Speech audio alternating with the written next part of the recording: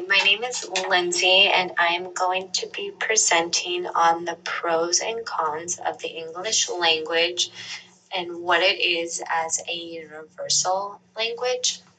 And this is by Lindsay Goldman.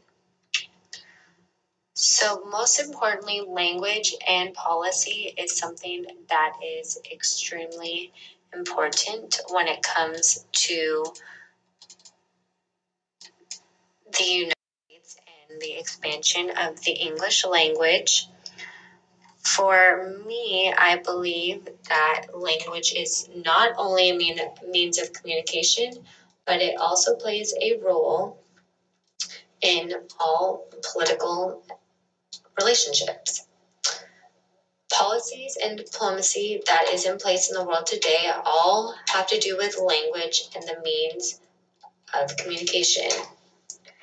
Language is not only a mean of communication, but it is very important when it comes to negotiation between different parts of the world. Policies and diplomacy that is in place in the world today all have to do with language and the means of communication.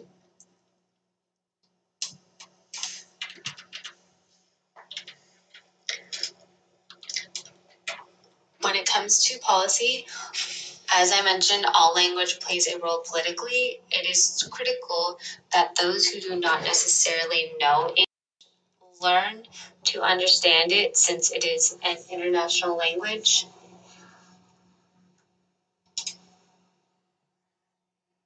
Today in the world, having everyone speak this language. With of the English language, there has been some things that have been lost. One of that is um, linguistic diversity. So this is basically the fact that in one territory, people speak one language, and in the other, they speak a different language. But because of English, the spread of the English language, there is not likely to have this type of thing exist. Um, the spread of English language can also be accredited to social inequality, and that is that certain language have also become extinct in a sense that they are no longer spoken since there's no necessarily no need for them to be spoken.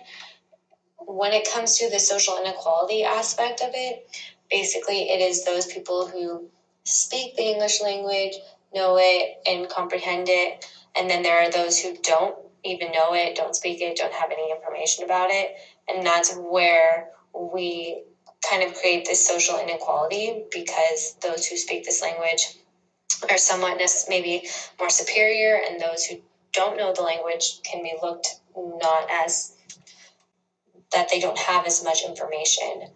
Um, the importance of a universal language is that it connects, language is what connects people to one another. With so many people speaking English today, there is so many other people who do not, who still to this day do not have access to learning English, such as places like Asia, where they don't really feel the need to learn this English language and they're kind of in their own environment doing this. Um, this is what is ultimately prevents people from knowledge, media, and culture. It is clear that there is some sort of discrepancy, and people who don't even speak a language won't understand knowledge written in this language, media in this language, and the culture of the English language or any language of that fact. Um, English gives individuals a medium to communicate and share ideas. So basically, this is what how you're able to speak with one another and how I'm able to do this presentation right now. You're listening to it, you're listening to it in English, you understand what I'm saying because we speak the same language, basically. So that's something that I understand and I comprehend in a way that it's extremely, extremely important. And it's clear that this is something that we need to have some sort of communication and a medium to speak, which is the English language or a universal language. But it's clear that with so many people speaking English, the 4 billion people in the world, that this is something that has so much longevity and is something that is going to stay ultimately. So it is also believed that the expansion of the English language only beneficial to the United States and Great Britain. Some believe that this is a way to advance English speaking territories. So ultimately, these territories, such as the United States and Great Britain, having the English language in this sense is something that only benefits them and advances them in their policy and what they are trying to speak with one another and get advan- like advance in the political realm of things. It is also believed that it is linguistic imperialism. It is that um, those who speak English are better in a sense and have this sort of upper hand. Um, territories who do not have the resources to learn English, English and are unable to compete globally are somewhat left behind, while the United States and Great Britain advance in their political aspect of life. Policies that have been implemented for the expansion of the English language are pluralism in the European Union. So, this is something that protects smaller languages but promotes the English language.